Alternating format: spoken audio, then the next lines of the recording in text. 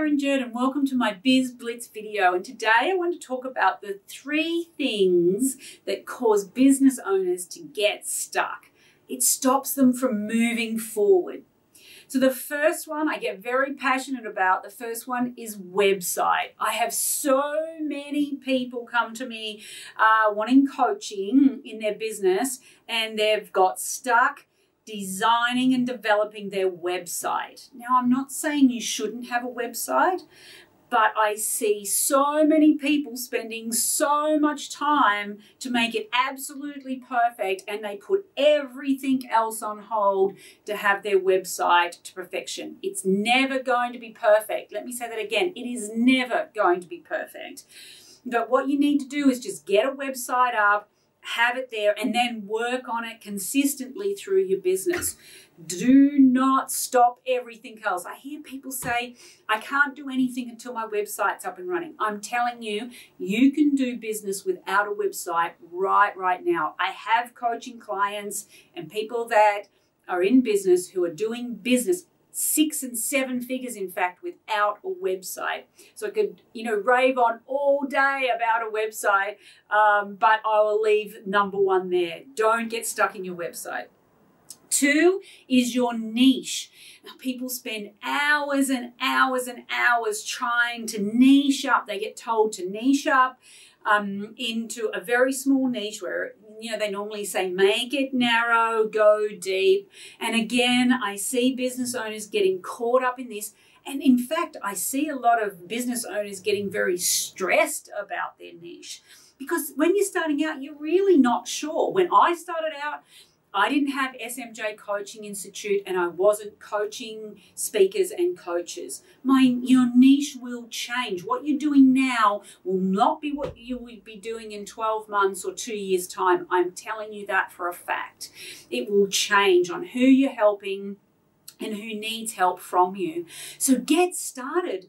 Get started in helping a, you know a number of niches because then you'll find where you like to be where you like to hang out. When you first start um, business, you might say that I want to help this demographic, and as you go along, you really don't like hanging out there, and you might find that you get more enjoyment doing something else. So don't narrow down too early um, when you're finding your feet and finding your way, and particularly when you need cash flow. And the third thing is marketing. I see a lot of business owners getting stuck in designing their logos, their catchphrases, their content, and their marketing, particularly around social media. Um, you know, and they want to design it all and build it all, and they just get dug down into the detail. My advice is just get going. The videos that I sent out previously, you know, when I first started, I have a good chuckle at them now. I'm going, oh my God, did I send at out to people, you will get better and better at your marketing, at your videos, at your content as you go along. But you're not going to know everything in the beginning. So start talking to people, start communicating with them, start sharing your message, and get better and better as you go along. Uh, what I say in my world is your flexion muscle that you get better and better at it. But if you don't start and you just, you know, get stuck in a whirlpool of content and detail, then you will never get going. So if these three areas are holding you back, have you know, are they the areas that you're actually stuck in?